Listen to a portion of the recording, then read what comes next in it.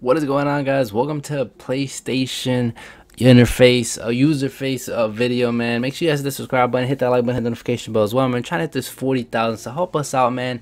Um, helping you guys out with, you know, tips and tricks on the PlayStation 5, how to find all this stuff. But let's get right into it, guys. This one is how to message your friends on the PS5. So what you guys want to go ahead and do is put the press the PlayStation button, go to the bottom over here where it says um game base now when you have game base and you go down here you guys will be able to see your friends list. Now say i want to send this person right here a message. Uh, all i have to do is click on them and then it says message right there. Says send a quick message or view messages. What you guys want to do if you guys press send a quick message is going to say something like this real quick. Hi what's up? Let's play.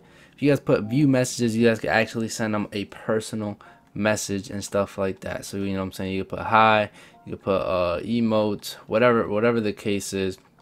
You know, you can send them whatever it is right there. You can invite them to a voice chat, invite them to a game, or you can add more players to this uh, chat, and you can you can make it a group chat and what uh, whatsoever and stuff like that. But also, if you guys want to see like a full, you know, say if you guys you guys can also see like a full list and just uh if you guys want to see all your messages you guys have sent what you guys want to do is go click on the first person in uh you know in there um, on your friend list. Right, uh, press options, and then where it says go to game base.